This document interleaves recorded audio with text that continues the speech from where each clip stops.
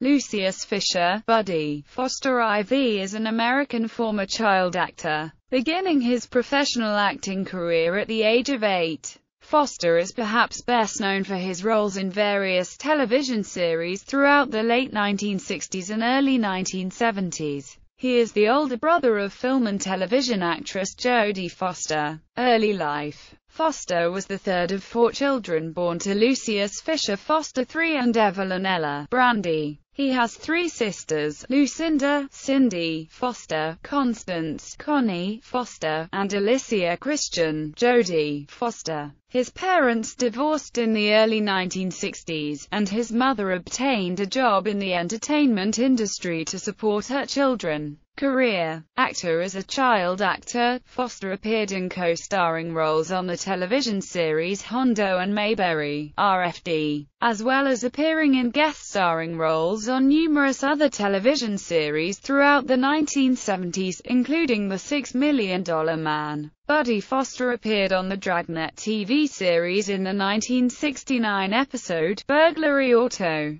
Juvenile Genius, as James Watermelon Chambers. He is also the voice talent of the little boy in the famous 1969 Tootsie Pop commercial Mr. Owl, How Many Licks Does It Take? and often confused and credited to Peter Robbins. He made his final screen appearance with a small role in the United Artists feature film, Foxes, which starred his sister, Jodie Foster. Author in 1997, Foster authored the book, Foster Child, in which he chronicled his account of his and Jodie's childhood. Jodie Foster called the book a cheap cry for attention and money, filled with hazy recollections, fantasies and borrowed press releases.